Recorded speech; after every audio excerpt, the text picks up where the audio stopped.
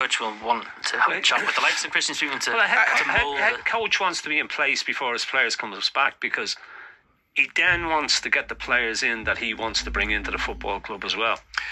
But I just mentioned before, I said on, on Tuesday that I went down to London for that League Managers Awards. And, you know, Yeah. there's certain managers who was getting presentations, getting awards, and they were getting interviews.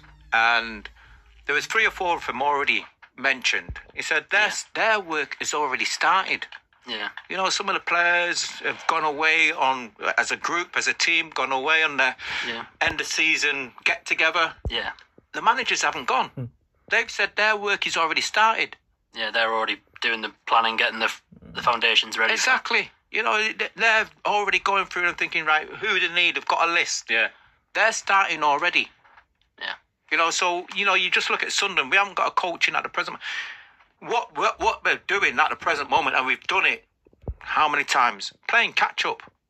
You know, the longer you leave it, More you're difficult gonna- it becomes, More difficult, and the less quality you've got to Yeah. choose from.